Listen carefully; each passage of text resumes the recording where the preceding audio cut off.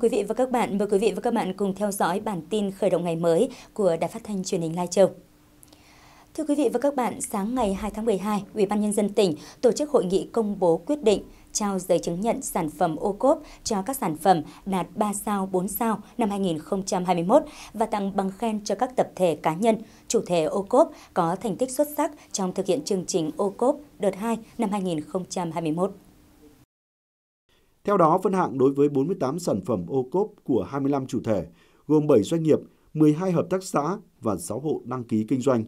được hội đồng đánh giá phân hạng đạt từ 50 điểm trở lên. Cụ thể, hai sản phẩm có điểm đạt từ 90 trở lên, đạt tiềm năng 5 sao đủ điều kiện trình hội đồng đánh giá phân hạng trung ương đánh giá sản phẩm 5 sao, một sản phẩm đạt 4 sao và 45 sản phẩm đạt 3 sao. Các sản phẩm được các hạng sao trên được Ủy ban nhân dân tỉnh cấp giấy chứng nhận được sử dụng tem nhãn ô cốp theo thứ hạng sao để in, dán trên bao bì sản phẩm, trừ hai sản phẩm trà ô long xanh và trà Đông Phương Mỹ Nhân của công ty cổ phần đầu tư phát triển trà Tam Đường đạt tiềm năng 5 sao trình Hội đồng Trung ương đánh giá phân hạng, khen thưởng theo quy định.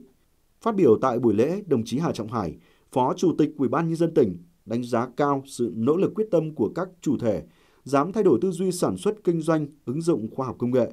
Khi đã có sản phẩm, đề nghị các chủ thể mở rộng quy mô, nâng cao chất lượng, đáp ứng yêu cầu chuẩn hóa của thị trường.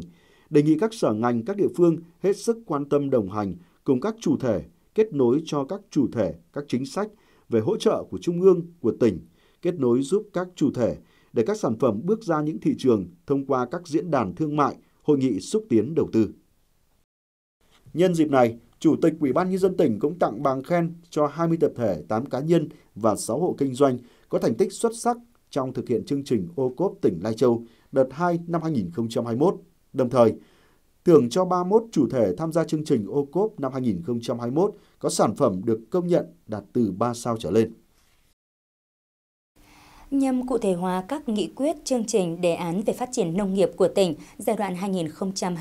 2021-2025 và những năm tiếp theo, khẳng định cam kết của tỉnh trong việc hỗ trợ cộng đồng doanh nghiệp, nhà đầu tư đến đầu tư sản xuất kinh doanh tại tỉnh. Hôm nay, mùng 3 tháng 12, tỉnh Lai Châu tổ chức hội nghị xúc tiến đầu tư lĩnh vực nông nghiệp với chủ đề Phục hồi kinh tế, thích ứng linh hoạt, an toàn với đại dịch COVID-19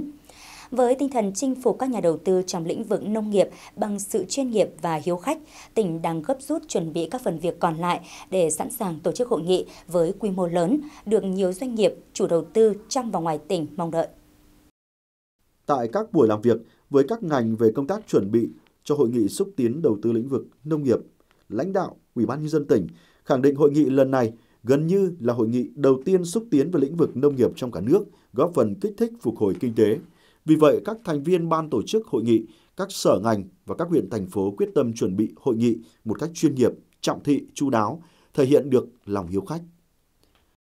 chỉ đạo các cơ quan chuyên môn đánh giá về cái dư địa về đất đai, tiềm năng về những lĩnh vực mà của huyện Sìn Hồ có thể thu hút đầu tư. Đối với huyện Sìn Hồ chúng tôi thì có 11 cái danh mục dự án là để đưa ra trong cái hội nghị của ngày 4 tháng 12 để kêu gọi là thu hút các nhà đầu tư vào đầu tư. Trên lĩnh vực nông nghiệp chúng tôi vẫn xác định là đối với vùng cao thì đang thu hút là một là phát triển cái cây dược liệu, một cái um, danh mục uh, đề xuất thu hút đầu tư đó là cái du lịch uh, gắn với lại uh, nghỉ dưỡng hoặc là tắm thuốc trên cái cao nguyên Sìn Hồ. Còn đối với vùng thấp thì à, chúng tôi cũng à, xác định một số cái lĩnh vực như nuôi cá trên à, lòng hồ thủy điện Sơn La. Sẵn sàng tổ chức hội nghị, các ngành liên quan đã chuẩn bị kỹ lưỡng từ khâu lên danh sách cụ thể, khách mời, thống nhất các biên bản hợp tác, biên bản ghi nhớ. Các nhà đầu tư sẽ được trao quyết định chủ trương đầu tư, đồng thời làm tốt công tác truyền thông trước và sau hội nghị. Đảm bảo công tác phòng chống dịch COVID-19, tạo điều kiện thuận lợi nhất cho các nhà đầu tư tham dự hội nghị. Để xây dựng phương án phòng dịch luôn luôn phải thích ứng được và việc linh hoạt trong quá trình tổ chức để thực hiện. Cái này thì sẽ đến xây dựng cụ thể phương án lớn và trong từng phương án đó sẽ diễn ra nào à, sẽ đáp ứng theo tình huống đó được kỳ vọng sẽ tạo nên sự đột phá đưa nền nông nghiệp của tỉnh phát triển theo đúng định hướng quy mô lớn, công nghệ cao. Hội nghị xúc tiến đầu tư lĩnh vực nông nghiệp đang được gấp rút hoàn thiện các phần việc còn lại, nhằm thu hút các doanh nghiệp đầu tư vào lĩnh vực nông nghiệp của tỉnh trên cơ sở phát huy tốt tiềm năng và điều kiện tự nhiên sẵn có. Thưa quý vị, bảo hiểm xã hội và bảo hiểm y tế là hai chính sách lớn của Đảng và Nhà nước. Trong những năm qua, việc vận động nhân dân tham gia bảo hiểm xã hội và bảo hiểm y tế trên địa bàn tỉnh đã đạt được những kết quả quan trọng. Nhằm tiếp tục tuyên truyền các chính sách bảo hiểm, Bảo hiểm xã hội tỉnh phối hợp với Bưu điện tỉnh, Hội Nông dân, Hội Phụ nữ tỉnh tổ chức lễ gia quân tuyên truyền vận động nhân dân tham gia bảo hiểm xã hội tự nguyện, bảo hiểm y tế hộ gia đình năm 2021. Ghi nhanh của phóng viên Ngọc Toàn, Khánh Quang về đợt gia quân này. Từ sáng sớm tại trụ sở Bảo hiểm xã hội tỉnh, hơn 150 cán bộ viên chức lao động thuộc Bảo hiểm xã hội tỉnh, Bưu điện tỉnh Lai Châu, Hội Nông dân thành phố, Hội Phụ nữ thành phố và các đại lý thu bảo hiểm xã hội tự nguyện, bảo hiểm y tế trên địa bàn thành phố đã có mặt để thực hiện tuyên truyền phát thanh bằng xe lưu động, xe máy trên các tuyến đường chính, khu tập trung đông dân cư. Đợt gia quân nhằm nâng cao nhận thức của người dân về vai trò ý nghĩa của chính sách bảo hiểm xã hội, bảo hiểm y tế, từ đó giúp người dân chủ động tham gia để đảm bảo chăm sóc sức khỏe, có lương hưu khi hết tuổi lao động. Hàng năm thì mỗi lần tham gia lễ gia quân thì không chỉ là bản thân tôi là cán bộ truyền thông mà tất cả cán bộ viên chức lao động của Bảo hiểm xã hội tỉnh Ờ, cũng như các sở ban ngành, chúng tôi đều rất là phấn khởi và hào hứng. Và ờ, chúng tôi sẽ cố gắng nỗ lực hết mình để có thể hoàn thành tốt chỉ tiêu được ra trong lễ gia quân. Và hy vọng rằng là mọi tầng lớp nhân dân của chúng ta qua lễ gia quân ờ, sẽ có thể hiểu rõ hơn về chính sách bảo hiểm xã hội bảo hiểm y tế, hiểu rõ hơn về công việc của những cán bộ bảo hiểm xã hội. Và đặc biệt là người dân sẽ từ đó là chủ động tham gia chính sách bảo hiểm xã hội, bảo hiểm y tế của nhà nước để được đảm bảo chăm sóc sức khỏe. Bảo hiểm xã hội và bảo hiểm y tế là hai chính sách lớn của Đảng và Nhà nước. Trong những năm qua, việc vận động nhân dân tham gia bảo hiểm xã hội, bảo hiểm y tế trên địa bàn toàn tỉnh đã đạt được những kết quả quan trọng. Số người tham gia bảo hiểm xã hội, bảo hiểm y tế có tỷ lệ năm sau luôn cao hơn năm trước, góp phần đảm bảo an sinh xã hội cho mọi tầng lớp nhân dân. Đến nay, trên địa bàn tỉnh có 7.500 người dân tham gia bảo hiểm xã hội tự nguyện, 365.000 người dân tham gia bảo hiểm y tế. Mục tiêu đến cuối năm 2021, toàn tỉnh phải đạt 11.790 người dân tham gia bảo hiểm xã hội tự nguyện, 404.000 người dân tham gia bảo hiểm y tế. Do đó, việc tổ chức đồng loạt lễ gia quân tuyên truyền vận động nhân dân tham gia bảo hiểm xã hội tự nguyện, bảo hiểm y tế hộ gia đình tại 8 huyện thành phố trên địa bàn tỉnh có ý nghĩa quan trọng nhằm nâng cao nhận thức cho mọi tầng lớp nhân dân về vai trò ý nghĩa của chính sách bảo hiểm xã hội, bảo hiểm y tế, từ đó giúp người dân chủ động tham gia để được chăm sóc sức khỏe, ổn định cuộc sống khi về già. Đồng thời, nâng cao vai trò tinh thần trách nhiệm của cán bộ bảo hiểm xã hội, các đại lý thu, cán bộ hội viên thuộc Bưu điện tỉnh, Hội nông dân, Hội phụ nữ tỉnh huyện trong công tác tuyên truyền tư vấn vận động nhân dân tham gia bảo hiểm xã hội, bảo hiểm y tế hướng tới mục tiêu đạt bảo hiểm xã hội, bảo hiểm y tế toàn dân, góp phần đảm bảo an sinh xã hội cho nhân dân. Thông qua cái lễ gia quân này thì ờ, người cái ờ, nhận thức của người dân nó sẽ được nâng lên cái sự chủ động của người dân về tầm quan trọng của cái vấn đề à, của cái tham gia bảo hiểm y tế, cũng như cái tiết kiệm của người dân mà khi từ ngay từ lúc còn trẻ để khi mà sau này khi người ta đã, sức khỏe người ta yếu về già thì người ta sẽ ngày càng được nâng lên. Ờ, trong những năm qua thì trên địa bàn tỉnh Lai Châu, nếu mà nói về năm 2019 năm 2019 ờ, có 2009 đối tượng nhưng năm 2021 này thì đến thời điểm này chúng ta đã gật đạt gần 8.000 à, điều đó là thể hiện là cái công tác tuyên truyền nó rất là à, à thiết thực cũng như là cái tầm quan trọng của người dân nhận thức rõ trên địa bàn là cái à, cái tham gia bảo hiểm y tế cũng như bảo hiểm xã hội tự nguyện. Ngay sau lễ gia quân, cán bộ bảo hiểm xã hội tỉnh, bưu điện tỉnh tổ chức tuyên truyền lưu động về chính sách bảo hiểm xã hội tự nguyện, bảo hiểm y tế trên các tuyến đường chính và các chợ ở địa bàn thành phố. Ngoài ra, Bảo hiểm xã hội tỉnh còn thành lập các tổ nhóm xuống các thôn bản tuyên truyền, vận động người dân tham gia bảo hiểm xã hội tự nguyện, bảo hiểm y tế. Các ờ, nhân viên tư đi tư vấn của bảo hiểm xã hội tỉnh bản thân tôi cũng nhận thức được ờ, cái chế độ của bảo hiểm của tự nguyện của ờ, xã hội của tỉnh thì cũng rất là thiết thực bản thân tôi thì cũng đã có chế độ nghỉ hưu rồi nhưng tôi thấy con con trai tôi là cháu cũng làm tự do bên ngoài. Thì tôi cũng đồng hành ủng hộ cháu thì tham gia các bảo hiểm tự nguyện. Thì để sau này có tuổi về già thì cũng đỡ phụ thuộc ờ, nhờ vào con cái. Phấn đấu trong tuần lễ đầu tiên giao quân trên địa bàn thành phố sẽ phát triển, tăng mới gần 500 người dân tham gia bảo hiểm xã hội tự nguyện và 100 người tham gia bảo hiểm y tế, góp phần vào thành tích chung phấn đấu trong đợt gia quân lần này. Toàn tỉnh đạt trên 1.500 đối tượng tham gia bảo hiểm xã hội tự nguyện, 1.200 đối tượng tham gia bảo hiểm y tế hộ gia đình. Thưa quý vị, để những người được mãn hạn tù trở về địa phương tái hòa nhập cộng đồng, thời gian qua, Công an huyện Than Uyên đã triển khai nhiều giải pháp hỗ trợ nhằm xóa bỏ mặc cảm, chấp cánh những ước mơ hoàn lương. Năm 2003, anh Lương Văn Hợp ở bản Cang Mường, xã Mường Cang bị tuyên án 11 năm tù vì tội mua bán trái phép chất ma túy. Những ngày trong tù, hối hận về những gì mình đã làm nên anh đã nỗ lực cải tạo tốt để sớm được trở về. Sau hơn 8 năm chấp hành án tù với sự ăn năn và cải tạo tốt, năm 2011 anh được hưởng sự khoan hồng của nhà nước, mãn hạn tù trước gần 3 năm. Mãn hạn tù trở về, anh Hợp tích cực đi làm thuê để có tiền trang trải cuộc sống. Sau một thời gian, gia đình anh được Hội Nông dân xã hỗ trợ vay 100 triệu đồng để đầu tư phát triển kinh tế. Được công an huyện, xã động viên tuyên truyền và định hướng, nhiều kiến thức bổ ích về phát triển kinh tế. Nhờ đó đến nay, gia đình anh đã xây dựng được mô hình nuôi trâu bò ngựa, vỗ béo. Trung bình mỗi năm thu nhập khoảng 200 triệu đồng. Và văn hồng của nhà nước, sau khi về tôi cũng có kinh nghiệm, rút kinh nghiệm, những sai trái của mình, cố gắng để vay tiền để mua bán trâu bò vừa nuôi vừa bán. Rồi đến đến bây giờ tôi cũng cố gắng phát triển. Vì là vay hơn trăm triệu đến bây giờ là cũng được 10 năm, mấy tháng rồi. Thì cũng trở thành con người bình thường hoàn lương với xã hội. Mà cái gì nó không nên không phải là mình phải cố gắng ờ, đừng tái phạm, tránh xa ra những cái trái pháp luật. Tôi mong à, mọi người, những à, thành phần nào chưa hiểu biết thì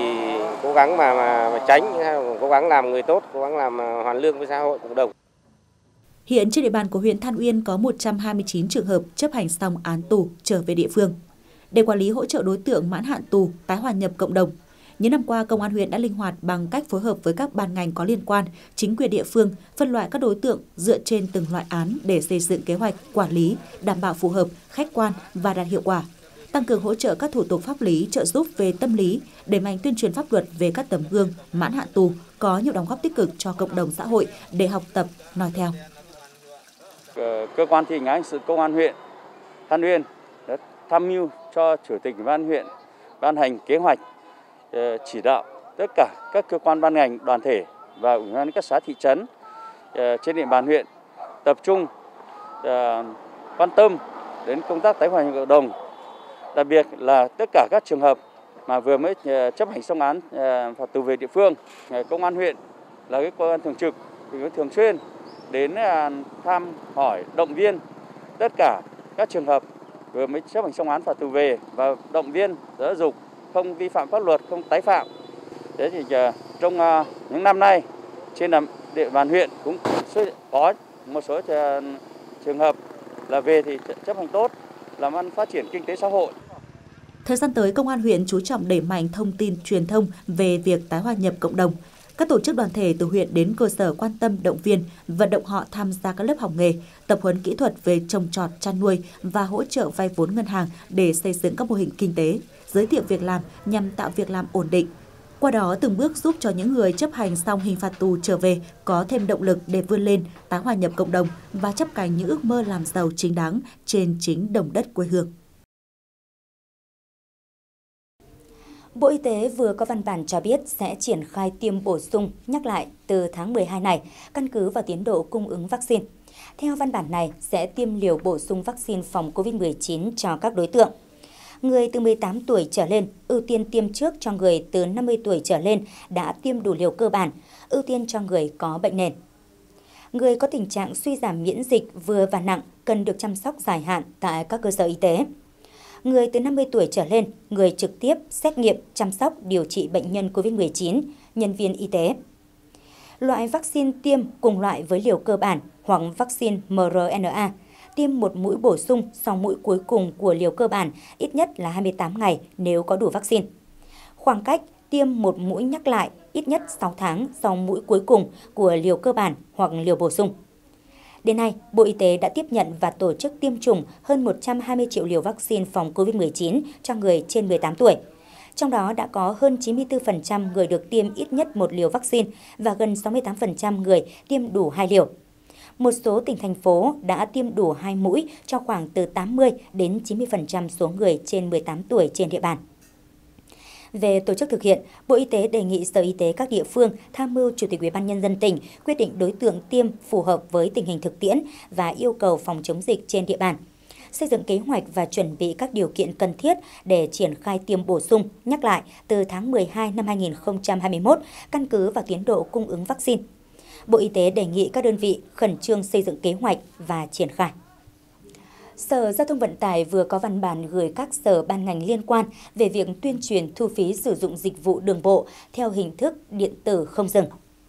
Văn bản này cho biết thực hiện chỉ đạo của Thủ tướng Chính phủ về việc thu phí dịch vụ sử dụng đường bộ theo hình thức điện tử không dừng. Đến nay, đã có 112 trạm thu phí trên toàn quốc đưa vào vận hành hệ thống thu phí điện tử không dừng và đảm bảo chủ phương tiện chỉ cần sử dụng một thẻ đầu cuối để lưu thông qua tất cả các trạm thu phí có lắp đặt hệ thống thu phí không dừng. Chủ phương tiện không phải trả chi phí gắn thẻ đầu cuối cho lần lắp đặt đầu tiên trước ngày 31 tháng 12 năm 2021. Sau ngày này, chủ phương tiện phải trả phí gắn thẻ cho nhà cung cấp dịch vụ thu phí. Việc đưa vào vận hành hệ thống thu phí điện tử không dừng với số lượng lớn các trạm thu phí trên toàn quốc đã tạo điều kiện cho các chủ phương tiện có gắn thẻ đầu cuối lưu thông thuận lợi qua các trạm thu phí. Đặc biệt, khi triển khai thí điểm một số tuyến cao tốc chỉ áp dụng hình thức thu phí điện tử không dừng. Theo đó, Sở Giao thông Vận tải đề nghị các sở ngành địa phương tích cực tuyên truyền đến cán bộ, công chức, người lao động và nhân dân trên địa bàn tỉnh về việc gắn và sử dụng dịch vụ thu phí điện tử không dừng để lưu thông qua các trạm thu phí. Trong đó, đề nghị cán bộ, công chức các cơ quan nhà nước gương mẫu thực hiện. Các đơn vị truyền thông tuyên truyền đến các doanh nghiệp vận tải, chủ phương tiện về việc dán thẻ và sử dụng dịch vụ thu phí điện tử không dừng để lưu thông qua các trạm thu phí.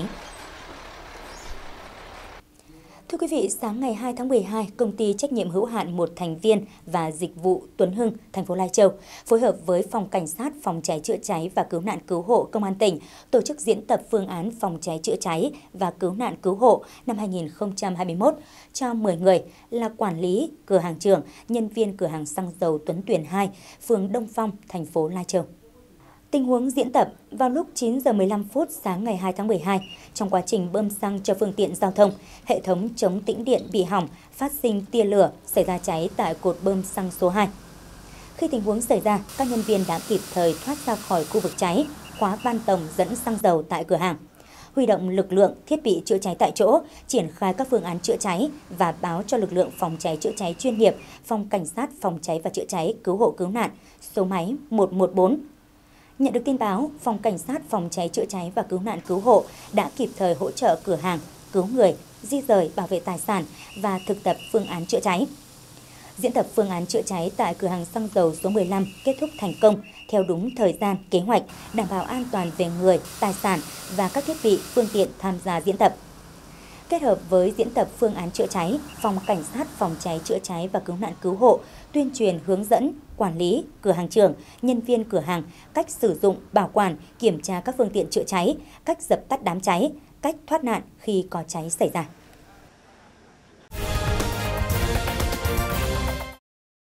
Theo báo cáo của Phòng Tài chính và Kế hoạch huyện Nậm Nhùn, hiện nay trên địa bàn huyện Nậm Nhùn có 20 hợp tác xã đang hoạt động chủ yếu trong lĩnh vực nông lâm nghiệp. Tổng mức vốn đóng góp của các hợp tác xã gần 38 tỷ đồng. Tổng số thành viên tham gia 370, có 8 trên 11 xã thị trấn có hợp tác xã thành lập. Mặc dù gặp nhiều khó khăn, quy mô hoạt động còn nhỏ lẻ, nhưng với sự nhanh nhẹn chủ động trong kinh tế thị trường, các hợp tác xã đã mở rộng quy mô, chuyển đổi mô hình hoạt động phát triển nhiều ngành nghề, lĩnh vực kinh tế để tạo việc làm, tăng thu nhập cho các thành viên và người dân địa phương.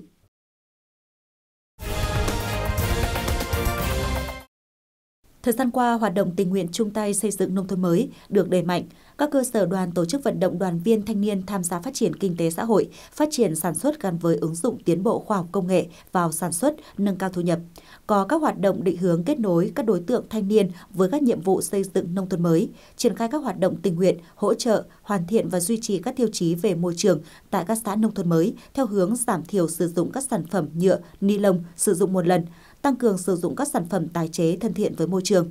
Các mô hình đường hoa cây xanh theo hướng vườn mẫu, khu dân cư kiểu mẫu được nhân rộng và phát huy. 100% các huyện thành đoàn và đoàn trực thuộc tiếp tục triển khai các hoạt động tình nguyện tham gia xây dựng nông thôn mới bằng những việc làm cụ thể như tham gia làm đường giao thông, trồng và chăm sóc cây xanh. Bản tin khởi động ngày mới của Đài Phát thanh Truyền hình Lai Châu hôm nay xin được kết thúc tại đây. Cảm ơn quý vị và các bạn đã quan tâm theo dõi. Quý vị đừng quên đăng ký kênh YouTube và fanpage để ủng hộ các chương trình của chúng tôi tại địa chỉ Đài Phát thanh Truyền hình Lai Châu. Xin kính chào tạm biệt và hẹn gặp lại quý vị trong những chương trình sau.